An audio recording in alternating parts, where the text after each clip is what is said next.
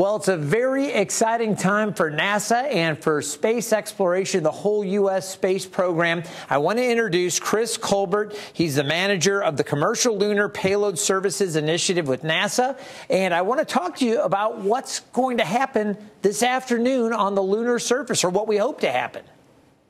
So, um, today should be the first, you know, if everything goes well, will be our first chance for the United States to land on the moon in more than 50 years. A small company called Intuitive Machines built their own lander. They're carrying some of our science instruments, and we hope they will land later this afternoon on the moon for the first time. It's incredible to think about this. It's been over 50 years since the United States has had uh, lunar landing, and you know China's gone up. I know the Soviet Union formerly, and India more recently. Why do you think? Why has it been so long for the U.S. and why is this such an exciting time to get back to the moon now?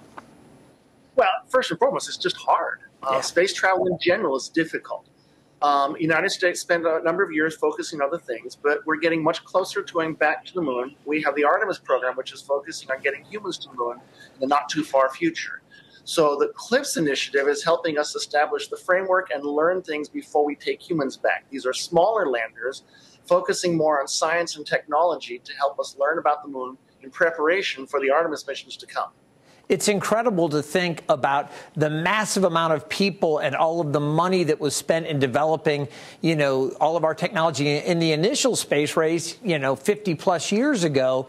Uh, how have things changed? I mean, a lot of those folks obviously have retired or have passed some of that knowledge. We've kind of had to take a look at things differently.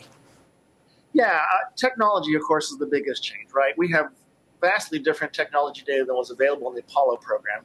And money's different. They had a lot of money back in the Apollo days. These companies are completing missions to the moon in the range of $100 million, a fraction of what we spent uh, back in the Apollo era. But we're taking advantage of modern technology, the capabilities that have been built up over many years. A lot of the infrastructure, both in low Earth orbit and, and the launch industry, allows us to do things that the Apollo missions required a huge uh, infrastructure to support. Now we can do it at a much lower cost and hopefully at a much higher frequency.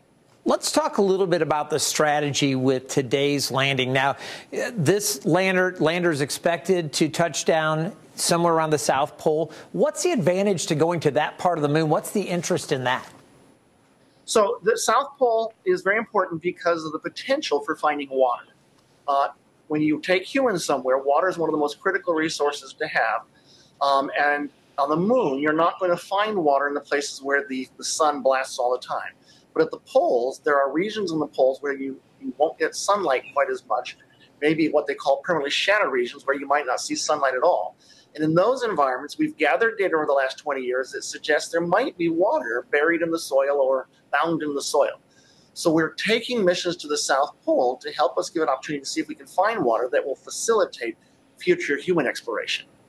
Very, very cool. Uh, I know there are a number of experiments that are going down now. What is the hope for the future? How is this going to help us spring forward with Artemis and, and potential human exploration again of the moon?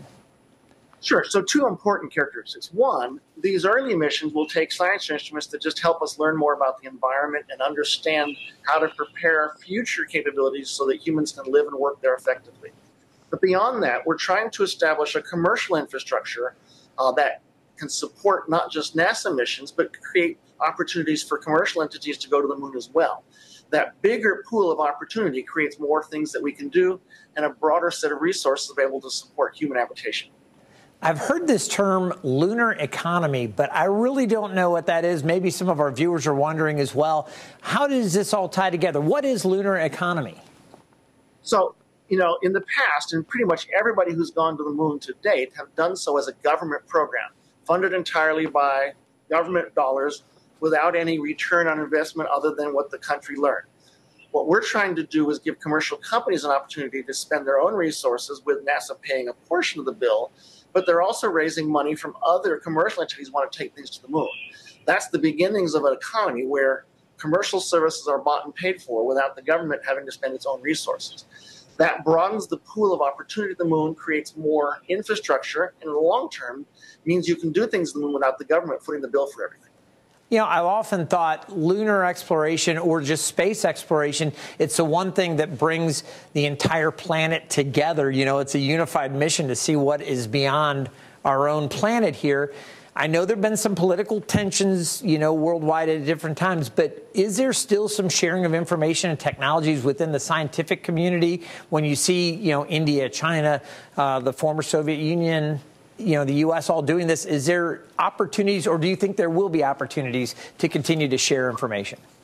I think there will be opportunities. The science community has a long tradition of sharing a lot of information um, about what happens in space, not just at the moon, but in a variety of environments. There are a number of international cooperation groups that share data, that pass information around. That doesn't mean there won't be um, proprietary elements associated with these commercial companies, uh, but the science community does have a long tradition of sharing information.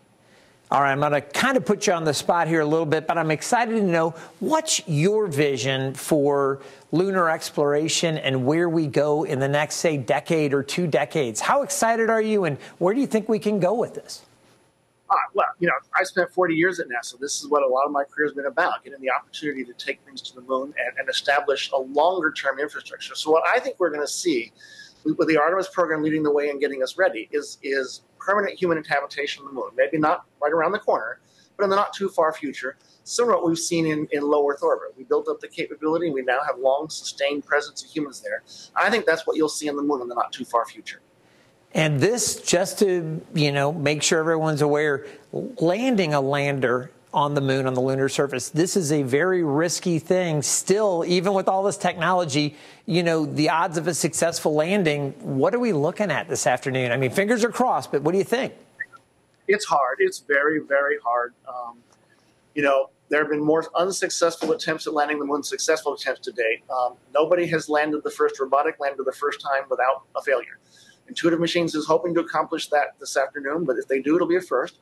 Um, any any small mistakes can doom a mission. Um, we, are very impressed with everything they've done. They've, they've troubleshot a lot of small things, but their lander looks to be very healthy. I think they've got an excellent chance, but it's certainly nothing guaranteed. Yeah, it's going to be very interesting. All right, so where can folks see this? I know there's going to be some live streaming. How can folks see what's going on, and how can we see U.S. images from the lunar surface? Okay, so um, Intuitive Machines has already released some of the pictures from lunar orbit on their website. Um, but you can also go to NASA Plus. We'll be broadcasting the landing live. There won't be cameras on the surface of the moon. You won't be able to see it land. But we'll be seeing Intuitive Machines talking about it and giving us updates. Um, so a NASA Plus or go to nasa.gov slash NASA TV. Both of those will take you to a lot of information both about this mission and lots of other future plans for going to the moon. Thank you so much for your time and good luck with the mission this afternoon. We're all going to be watching closely and uh, just wishing for all the best. Go NASA. Go NASA. Thank you very much.